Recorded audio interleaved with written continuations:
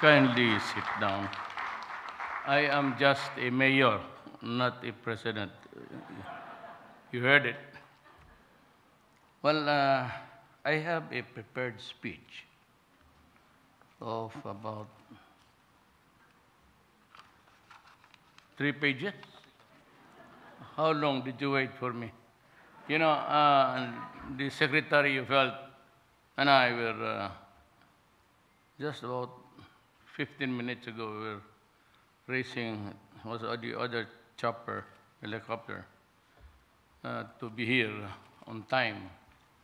We did try, but uh, you know, uh, we had to discuss, uh, made the assessment, made ocular inspections of the damage, and since the cabinet members were there, we had a conference of uh, how the task could be divided so that the places uh, hard hit by the earthquake would return to normalcy as soon as possible. That is the catchword uh, of every catastrophe and disaster. It's always try to endeavor uh, as fast as you can to return to, to normalcy. So that is what uh, I did there. So let me just uh, make the acknowledgements. The Health Secretary, Francisco Duque, the officers and members of the International Union Against Tuberculosis and Lung Disease, led by Union President Dr. Guy Marks, Dr. Ral Antic, Union President, Asia Pacific Region, Dr. Camilo Roa. I think uh, he's uh, a relative of mine. We come from the same place. Uh, it's a small one, so I would say that maybe my father was either his neighbor or a relative. Dr. Takashi Kasai, Regional Director, World Health Organization. I love the words he used uh, in characterizing the situation. Uh, other distinguished guests, ladies and gentlemen, let me, you know better than I am, so let me just uh, divert a little and talk about uh, my country and what ails my country. Well, number one is that uh, I've been making several uh, uh, statements before regarding law and order and governance. What I say to you now, I will not be there forever in the office. Uh, as a matter of fact, in about three years' time, I'd begun for good, since I could no longer run for any other position, except maybe uh, to retire uh, and plant whatever there is uh, to be planted. I don't own the land. Maybe I would plant people. Uh, and let me just address uh, to all of you so that you'd know a bit about my country. I hold it as an article of faith that unless the, uh, the, uh, the present situation, if there is no law and order, and if we cannot stop corruption in this country, no matter what we do or will be doing or have done, help. Uh, we we are troubled with uh, drugs, uh, rebellions uh, by the NPAs, and the Mindanao situation is the Islamic insurgency. We are lucky that in the two revolutionary fronts of the MI and LF and the MN, we were able to find a solution to give them what they wanted. For after all, it was just an issue of territory. Uh, long before the Spaniards came, and of course the Americans, Mindanao was already Islam. Uh, that is why when the Spaniards came and they had the muskets and the cannon and the gunpowder, uh, the natives had to kneel down because of sheer firepower. And the Americans also, and uh, it was during the time that there was uh, uh, sort of uh, a catchword, sloganeering, was, go to Mindanao because it is the land of promise. Go west, Yangon. And uh, over time, uh, the population grew and outnumbered, uh, I'm referring to the Christians, outnumbering the population of uh, Mindanao. And it was the Americans who started to divide the nation. Mindanao opened and they introduced the Torrens title and just like in America, distribute the lands to all. They call it the homesteads. It's an American uh, version of giving away public lands. And that was really a big problem because they forgot that before he came, Adam and Eve was already there. And I'm referring to the tribes of uh, the Moro the native uh, Muslims of Mindanao. So I said the MNMI was just a issue of uh, territory. And, uh, but there's a certain place which I would not recommend to anybody to go there. Not just as yet is Zamboanga. There are still too many problems because some Europeans go there for the bird watching. And they are captured and eventually they are decapitated even after the payment of ransom. It's the ISIS, actually. It used to be the Abu Sayyaf, it's a band of brigands, but uh, now it's an Abu Sayyaf territory. And you know the Abu Sayyaf, they do nothing but to kill and destroy. And it's a very inter in, an interpretation which is so corrupt. And they would like to mean it to be what is in their head. Actually, mass insanity. So, I'm talking about how to get into the services of the poorest of the poor. Because they are the ones who need it most. They are the ones who live in squalor, in blighted areas, no nutrition, and very susceptible to bacteria and virus.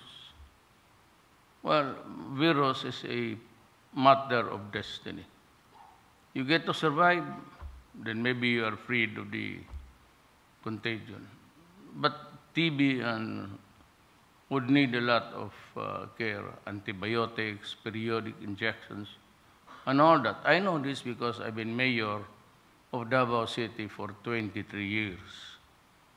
I've been a prosecutor of that place for nine years, and I was also the vice mayor once upon a time, a congressman and eventually the, my office there in Pasig River.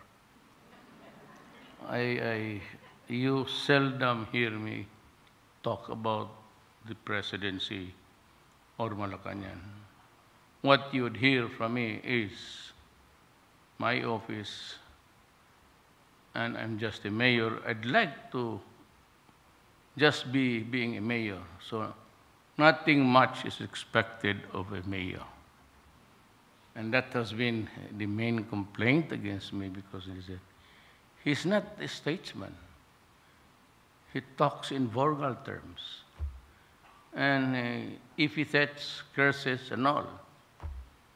Oh, those are the language of uh, languages of the mayor, especially in Mindanao. You don't get results when you do not say, putang ina mo. You, uh, it's a, it's a, uh, the uh, international. They don't like me. So when I say putang ina mo, actually it's it's a it's a it's a slang. We call it slang, and it only means a son of a bitch. But when the press, the Philippines and otherwise would quote me shitting somebody with putang ina, you know, it's not even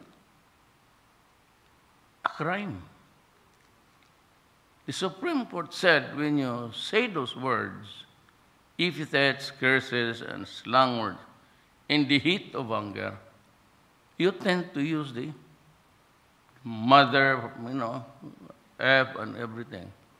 And the rich uh, language abounds in the inflex.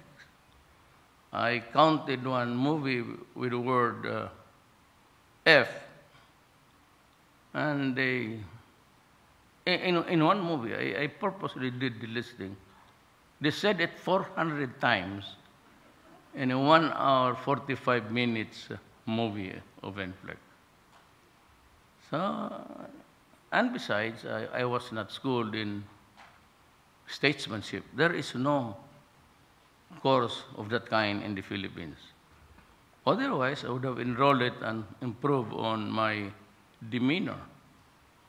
But uh, uh, I, I, said I've been mayor and I seem to, they do not like my barong folded this way because uh, it's a national attire.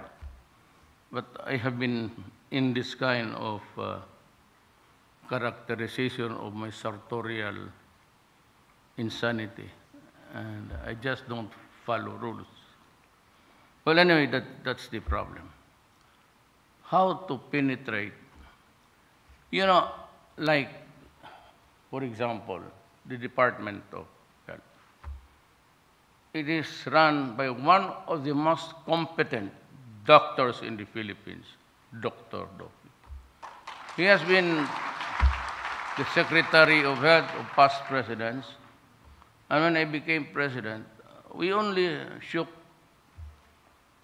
I shook his hand once in, I think, uh, EDSA Plaza. You were the woman at that time? Was that your, do your daughter or your maybe aide? I don't know, but uh, you, uh, you, seem to be enjoying uh, the time of your life. And you saw me. Just kidding. Yeah, but I did see him there. So it's a problem of how really to go about gathering these people, not to corral them, but we have, the health workers have to penetrate the mountain. And uh, in areas there, I said, where blight and squalor abound. The problem bogs down along the way to the intended beneficiaries.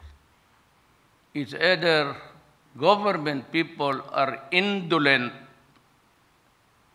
not all, or they just really don't bother just to do their work with a little bit of patriotism. Maybe after 5 o'clock, they go home because that's it. And I saw it in other countries. At the stroke of 5, they just drop everything and uh, and are the, this is the kind of attitude that really is a monkey wrench in the running of uh, government machinery. Uh, because most of the people, actually, we are hitting 105 million people. About almost n- n- 99 million. They just do not have the money to for the cure to spend. It's a series of injections and you need money. And it behooves upon the health workers really. And we have a strong advocate for that. But it's a matter of discipline sometimes. And uh, especially now that there are a lot of people who are into drugs. And your people who are into drugs do not have the appetite to eat. That's why their hands is half of my breast. Most of them do not eat. They do not sleep. And they just wait for the monkey to ride on their back. And be, begins to be they look for, the crave for the drug. And uh, most of them are poor. So sometimes you equate drug addiction to crime. Most of them are sick. I said they do not have the nutrients. Their, their uh, food uh, is terrible.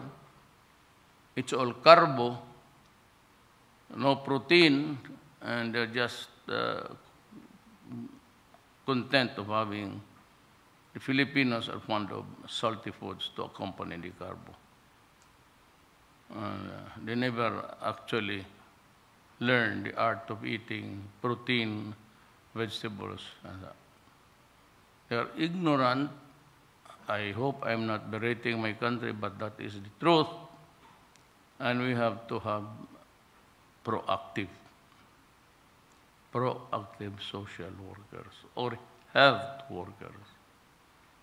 Uh, and that is why I do not, maybe the estimated number of uh, addicts uh, could be correct or it could be wrong.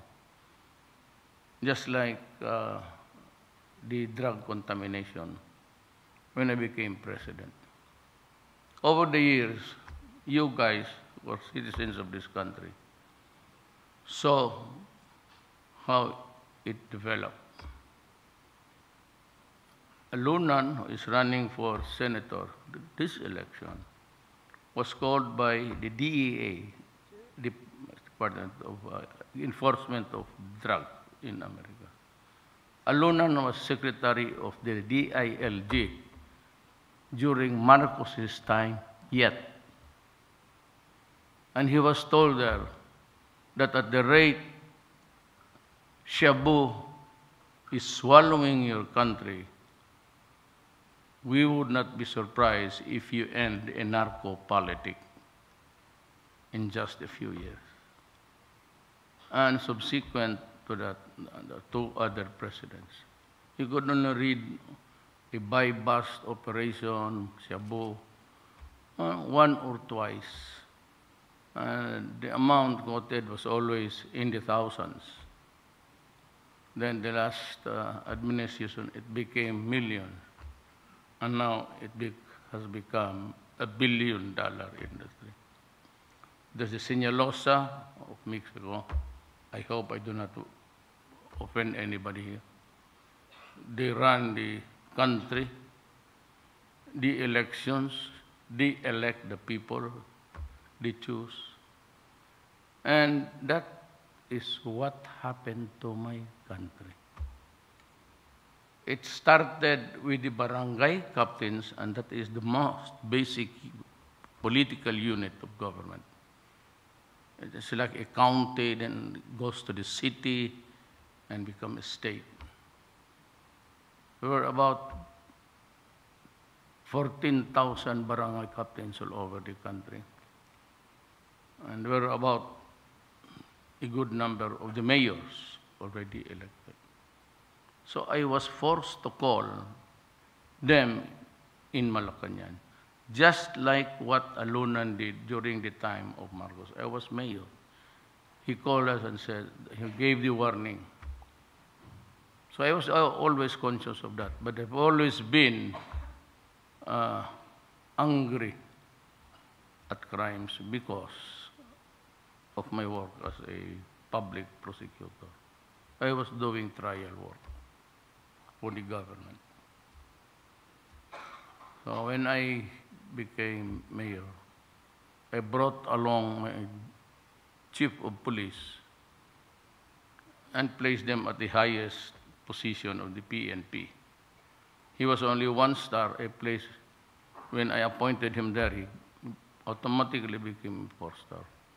And I said, there's only one thing that I would like you to do.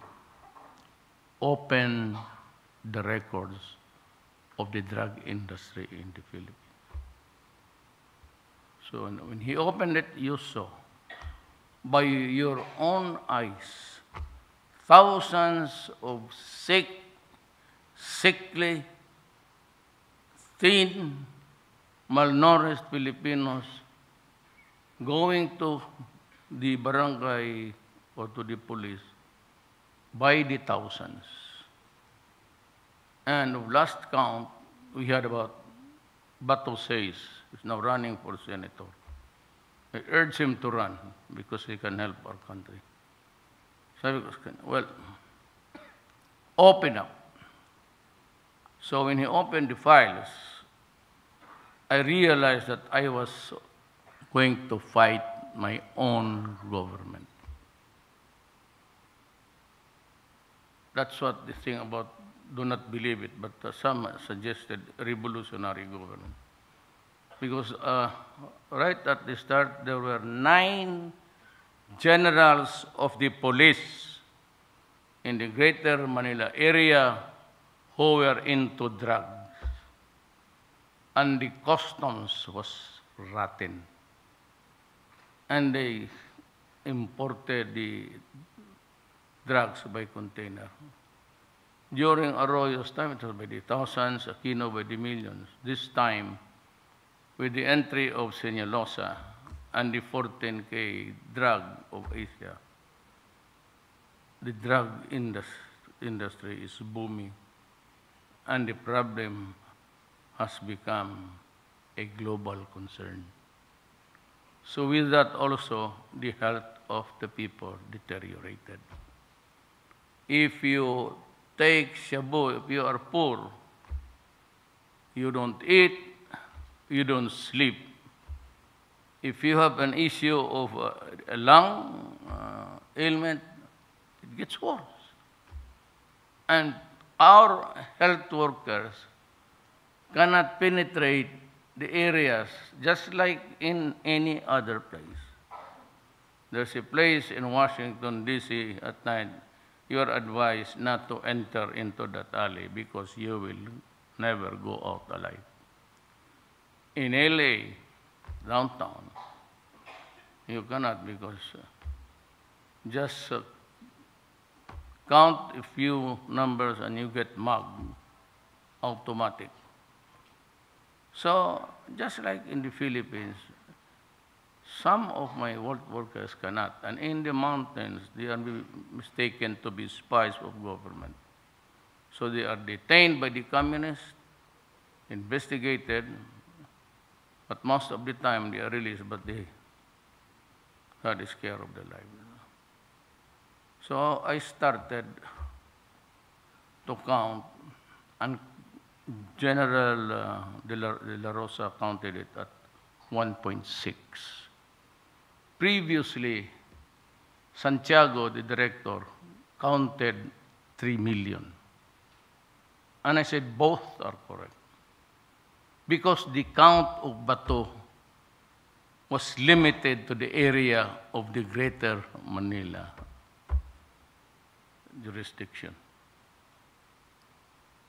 So, even if I place it at the very conservative number of the count of Bato, which is a newer undertaking, I would still have about 1.6 million Filipinos who are slaves to a drug called shabu.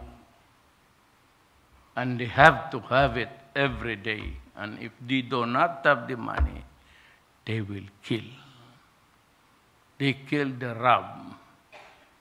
And when they get high, it's, a, it's an everyday occurrence.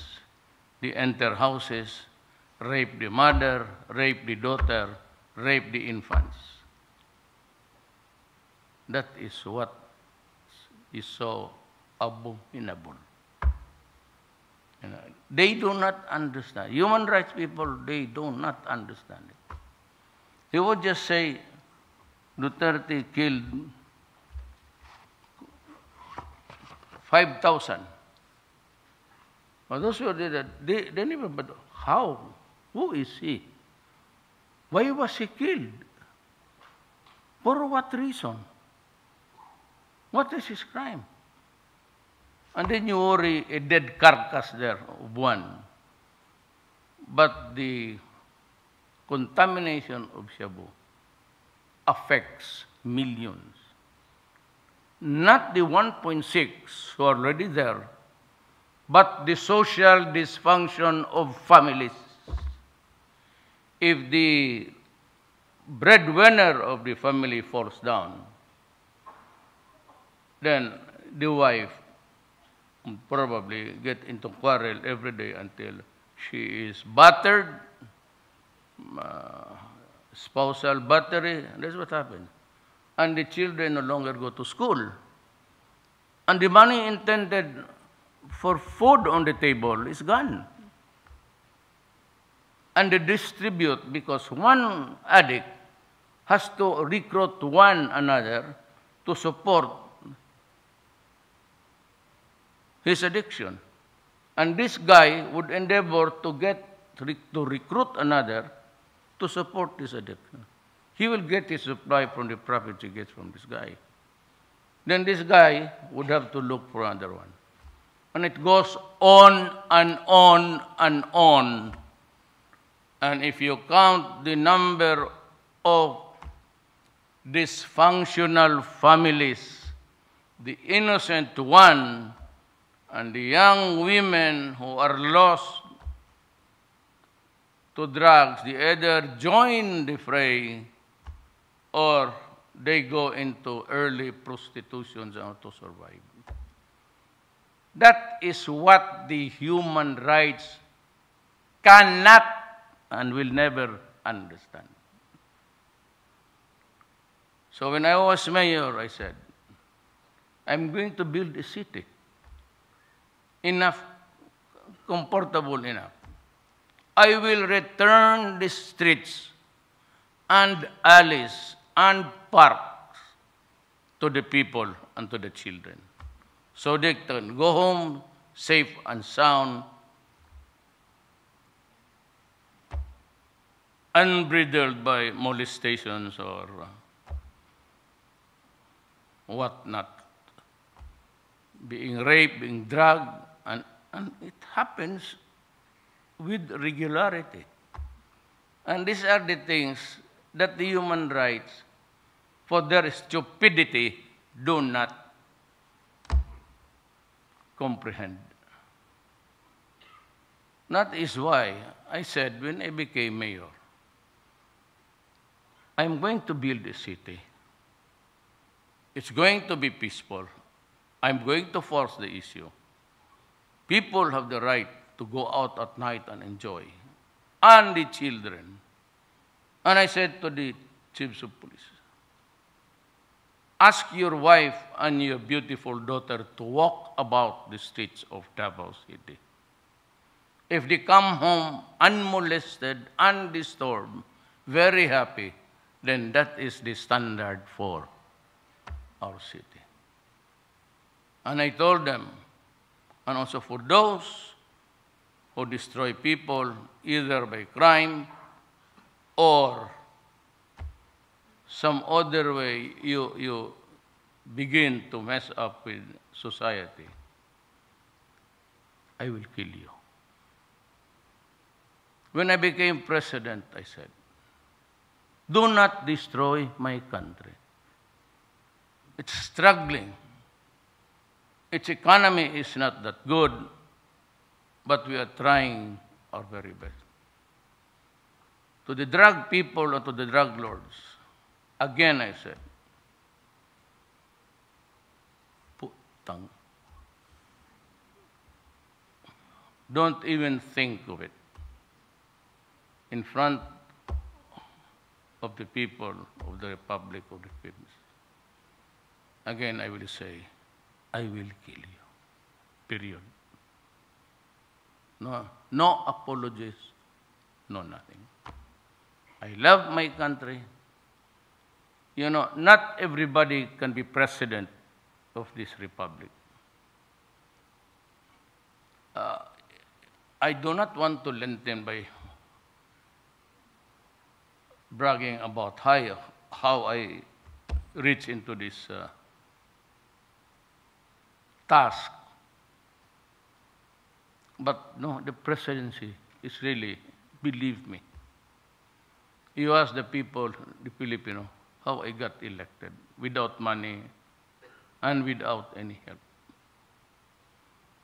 Uh, and about uh, Imee Marcos, uh, Abet Garcia.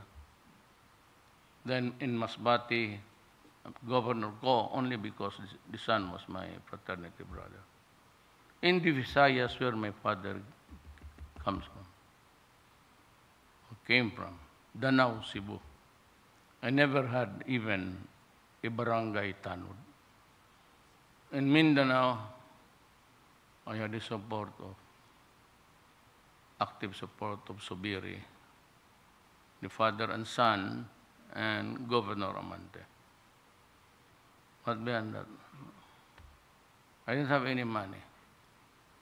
Why I, I really do not know. I cannot answer you now. Maybe it was a very stupid decision. But if you ask me now, in the hindsight, in the hindsight, when I think of the moment I decided to run, that I regret. But I'm going to work for the next uh, three years. But if you ask me if I'm happy with the job, I am not. Because of so many corruption and I have to fire. I'm leaving for China. And before that, I will leave so many letters of dismissal. Corruption is really seeps down. You have to have uh, something more than just a warning. I'm the only president who ako lang ang presidente nagbubugbog ng tao. Tanungin mo yung mga gwardya na. Yung mga hangol, uh, pag mas uli sa bigot, ulihin mo yan. I'll tell you, give me your money. I do not bring money. So the soldiers, uh, the white ones there, they would say, give me your money. And I would say to the guy, eat it. And sometimes there's one or two small coins, including the coin. But Mayor, it will get stuck in my correct. It will really stuck in your. It will block your shit, and that is good for you. Uh, I, I do not uh, like people may, before I end, and all these wars and all this, do not ever think, you criminals, wherever you come from, be it in Mexico or in, do not ever, ever think that you have a monopoly of evil in this world. Because we are all, it's an option sometimes one is forced to. I said, to be president, I do not understand how God made it possible. But it is a gift from God, I'm sure of that. But let me just add. We need to cure TB and other diseases. Man in government should have free access to every place here without being un- without being molested, disturbed, unbridled by any worry, so that the purpose for which we are here can be realized. You prevent that to the activity to happen, then my God gave me the presidency, I will give you a gift. I will clean this up.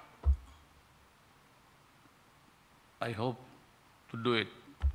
Still have three years to kill all of them. Then I go to prison, so be it. I get hanged, my pleasure. I'm 74 years old. I do not want to die of TB. I do not want to die of lung cancer. As a matter of fact, I got, uh, I acquired uh, Buerger's disease for smoking. That is why my doctor is here. She gets my blood. Was it? Ah, see? Almost every other day. And I said, Doctor, leave me some for to survive. And it's just a week. I, it's about Buerger's disease. Uh, but I've stopped smoking. When I became mayor in Davao City, I stopped smoking. I said, they said, it cannot be done because Filipinos, you know, blah, blah, blah. We will see. And I said, if I catch you smoking in public, you'll just have to eat your cigarette. Choose. I blow your balls out or you eat your cigarette. Davao, you can, there's nobody, not even when you walk in the highway. You go to Davao, you have time after this. It's clean, nobody. So, I have a gift for you. I am a government worker and I work for the people